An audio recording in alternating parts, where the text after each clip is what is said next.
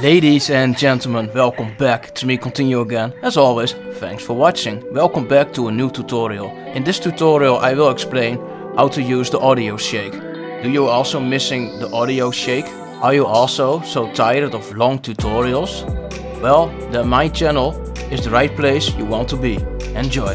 When they released the new FL Studio update 20.7, um, suddenly the audio visualizer, the audio shake, was not working anymore. But I figured it out.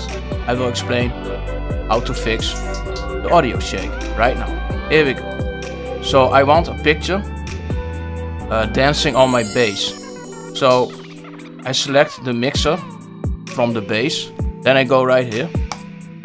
And I search for the ZGameEditor Visualizer. Press that button. Then go to this tab, add content add pictures, search for a picture you like. Um, I will use this picture right here. Then go back to main. Go to image effects, press image. Then go right here.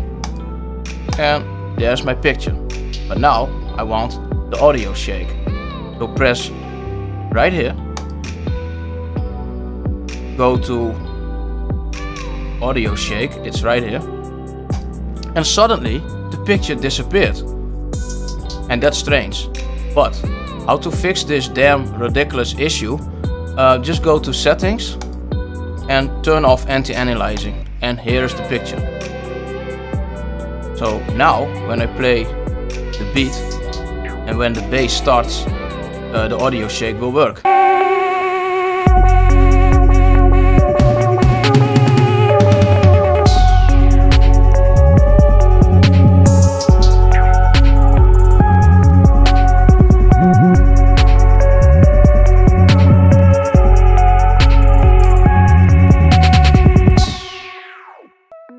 And basically, that was it guys. I hope you like this tutorial and if you do, please like and subscribe. And as always, thanks for watching. Take care, I'm out, continue.